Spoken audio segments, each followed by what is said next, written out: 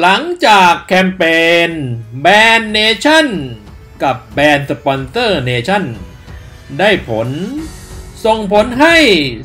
สองคนดังฝั่งสลิ่ม คือกนกสามนิ้วกับอีปองตองแปดตกที่นั่งลำบากแล้ววันนี้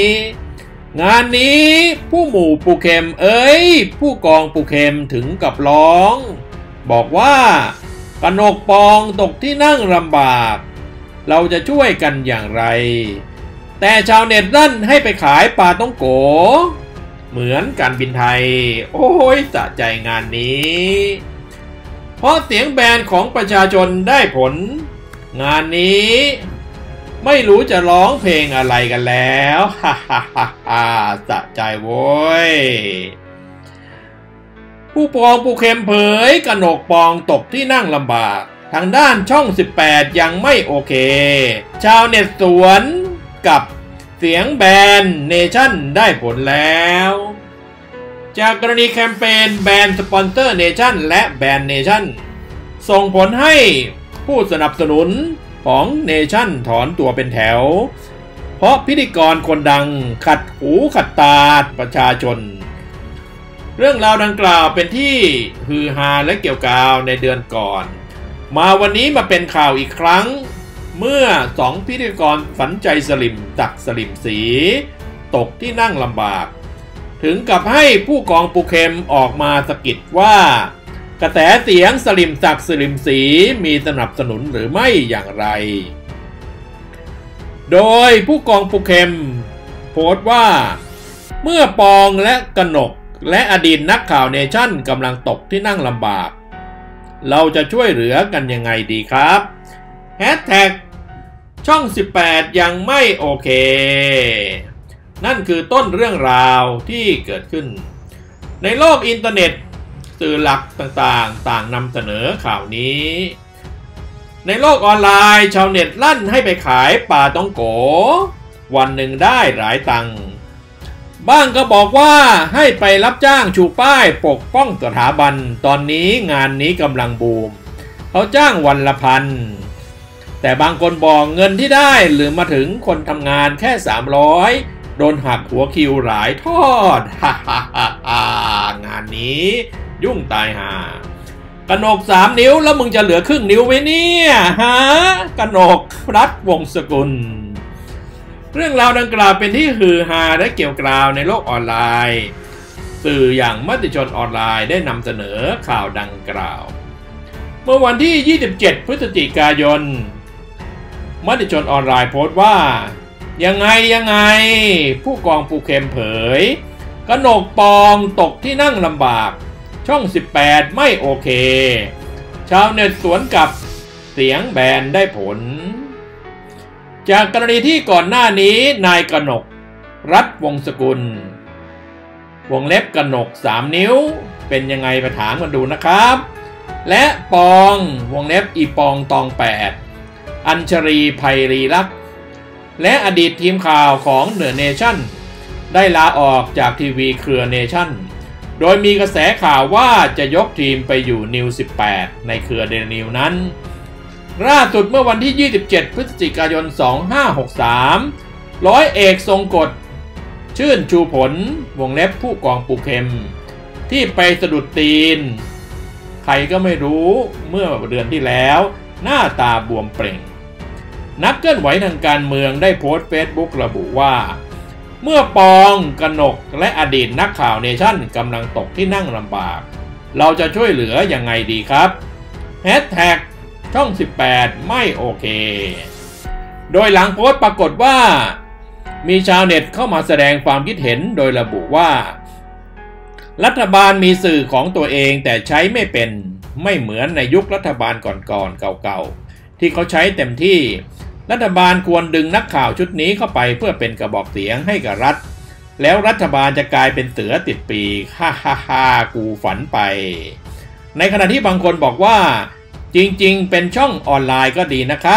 ยุคนี้องค์กรใหญ่ๆ บริหารความเสี่ยงเยอะ องค์กรเล็กๆ แต่เป็นเล็กพริกขี้หนู รวยไม่รู้เรื่องก็มี ยิ่งเป็นกลุ่มคนที่มีความชัดเจนในการทำงาน มีฐานผู้ชม มีชื่อเสียงอยู่ด้วยแล้ว คิดว่าการปลุกปั้นช่องข่าวออนไลน์ เต็มตัวน่าจะพอเป็นไปได้ ตัวอย่างช่องการการการรับชมของบรรดาสำนักข่าวอิสระ คนทั่วไปที่มีงานปังๆก็มีเยอะอยู่ ขณะเดียวกันผู้แชร์โพสต์ดังกล่าวไปเผยแพร่ระบุว่า เย้เสียงแบนของเราได้ผลนะคะ จนบัดนี้นับบิดเบือน ข่าวเหล่านี้ยังคงเป็นผู้ประกาศไร้ข่าว เป็นบ่าวไร้นาย เร่ล่อนกันต่อไปนะคะ จ้องให้ดีเข้าที่ไหนแบนที่นั่น ใครจะรับก็เอาสิคะอีเฮ้เฮ้เฮ้ฮ่าฮ่าฮ่าแบบนี้ใครจะกล้ารับมึงวะฮะ ไอ้กระหนกครึ่งนิ้วกับอีปองตองแปดสวยละมึงงานนี้ เขาจ้องอยู่ เข้าที่ไหนแบรนด์ที่นั่นสวยละมึงงานนี้ ขายปานุโกะดีประมั้งกูว่าฮ่าฮ่าฮ่าฮ่าในเรื่องราวดังกล่าวมีคนเข้าไปติดแฮชแท็กช่อง 18 ยังไม่โอเค มีคนโพสต์กันมากมายเราไปดูนะครับว่า มีความคิดเห็นต่างๆ นานาในโพสต์เหล่านี้แฮชแท็กเหล่านี้อย่างไรบ้าง ใส่เสื้อเหลืองไปชูป้ายไปชูธง แล้วแหกปากว่ารักสถาบันคุณก็ไม่ตกงานแล้วครับ ครั้งละ 300ถึง500 มีคนมาแย้งว่าครั้งละพันบาทต่อวัน มีคนเฉลยครับ ถูกทั้งคู่ต้นทาง 1,000 บาท โดนหักหัวคิวเหลือถึงมือ 300ถึง500 อ้าว มีแบบนี้ด้วยหรือ อีกท่านหนึ่งบอกว่า ช่วยกันถีบมันออกไปนอกโลกเลย ดาวอังคารยังว่างท่านหนึ่งบอกว่ากระทืบให้จมกรณีง่ายกว่ามั้งน่าจะดีที่สุด ท่านต่อไปบอกว่าได้อย่างนั้นก็ดี ท่านต่อไปครับ การบินไทยก็ไปขายปาน้องโก แล้วอย่างนั้นขายสลิมก็แล้วกันเอาละสิงานนี้ อีม้าไปหายห่อหมก ไอ้กระหนกกับอีปองกำลังจะไปแคะขนมครกละมั้งงานนี้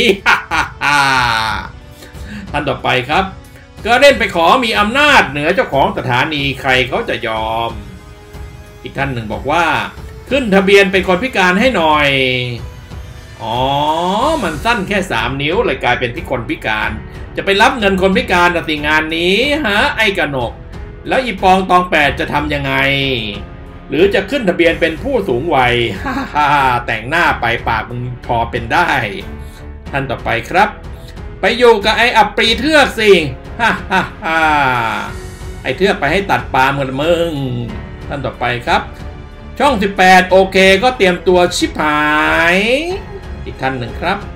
มีงานที่ทำเป็นสับเปลือไปพังๆก่อนหลายวัดกำลังรับคนอยู่นะท่านต่อไปครับ ไอ้ปูเข็มมีประโยชน์ตอนนี้แหละ ตอนที่เอาแก๊งเฮี้ยออกมาบอกฮ่าฮ่าฮ่าโอ้ยโอ้ยโอ้ยโอ้ย อ๋อ หรือไปทำอย่างนี้ดีกว่า ยังขาดคนเดินตามหลังตอนบินทบาทเก็บเงินแบบนี้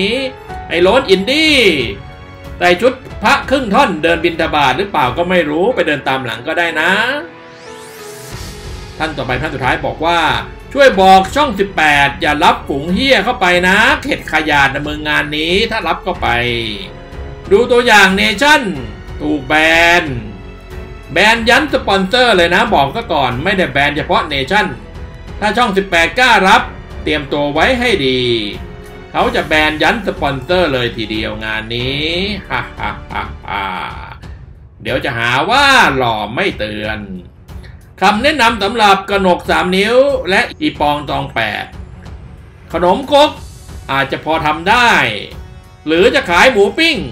หรือออกปลาทังโกไปคิดกันดูไปตกลงแบ่งปันกันว่า มึงจะทำอาชีพอะไร เพราะไหนๆมึงไปช่องไหนเขาจะตามแบรนด์มึงไม่จบไม่สิ้นแน่นอน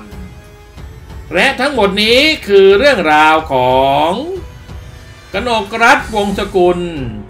ปองอัญชะลีไพรีรักษ์ตกที่นั่งลำบาก ผู้กองปูเค็มถึงกับร้องแต่ชาวเน็ตลั่นให้ไปขายปาท่องโก๋ ทั้งนี้เพราะเสียงแบนของประชาชนได้ผลจากแคมเปญแบนเนชั่นและแบนสปอนเซอร์เนชั่นต่อเรื่องราวดังกล่าวเพื่อนๆมีความคิดเห็นอย่างไรเชิญแสดงความคิดเห็นด้านล่าง แล้วอย่าลืมกดไลค์กดแชร์ กดติดตามและกดกระดิ่ง